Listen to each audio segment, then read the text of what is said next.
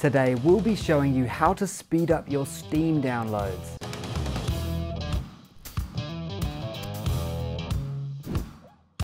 Hey guys, it's Joel here with Make Tech Easier. Steam is your portal into the world of PC gaming. Yes, the power balance may be shifting with Epic making its own inroads into the space and Google Stadia flaunting its cloud-based gaming chops, but for now Steam remains king. If you want Steam running nice and fast, making sure that downloads go smoothly is a big part of that. Luckily, there is a fair amount of tricks you can do to speed up your Steam downloads. In today's video, we will show you the best ways to do it. Before moving on to the tips, it's important to isolate whether slow Steam download speeds are related to Steam itself or to your PC as a whole. If your web browsing and non-Steam downloads are slow too, then it's a broader problem, and you should look into solutions for speeding up your internet connection. To check this, run an internet speed test at speedtest.net or a similar site to see if the speed matches what's being offered by your internet service provider. For Windows users, the next obvious step to try when troubleshooting things beyond reboot your PC or turn your router on and off again is running apps in administrator mode. The reasons this would impact download speeds are often a mystery, but there have been many reports that running Steam in administrator mode on Windows 10 unthrottles download speeds. So who am I to argue? Simply go to your Steam folder, right click the Steam executable, then under the compatibility tab, check the Run this program as an administrator box and click OK.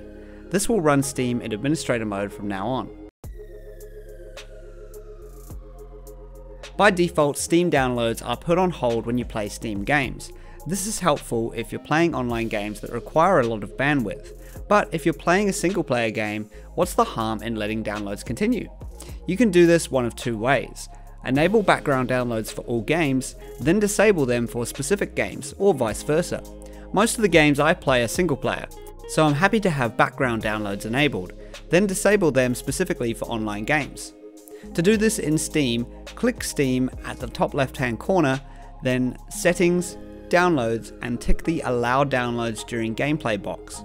Next, right click a game you don't want background downloads enabled for. Click Properties, Updates, and select Never Allow Background Downloads under the Background Downloads heading. And while you're in the Steam Downloads menu, Steam, Settings, Downloads. You can check to make sure that your download region corresponds to where you actually are in the world. On the same screen, under Download Restrictions, you can also increase your bandwidth limit or set it to no limit.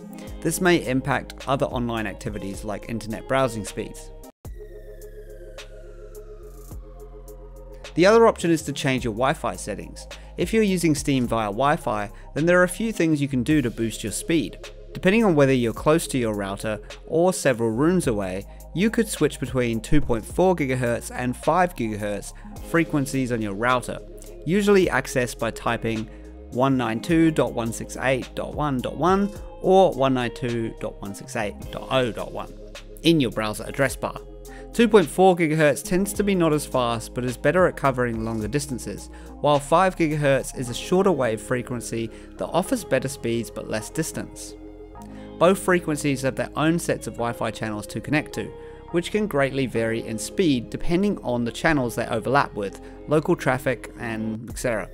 For more info, check out our website and read our guides on how to find the best Wi Fi channel for your PC and how to find the best 5 GHz Wi Fi channel for your PC as well. And that is maketecheasier.com. So, those were some of the more common ways to speed up your Steam downloads, as well as your internet in general. If you have broader internet problems, you should probably check out our guide on how to troubleshoot a router which may also fix any issues you have with Steam downloads as well. Well, that's it from me. As always, if you love tech as much as we do, make sure you hit that subscribe button, turn the bell on, and you'll be notified by our latest and greatest tech savvy videos. See you next time.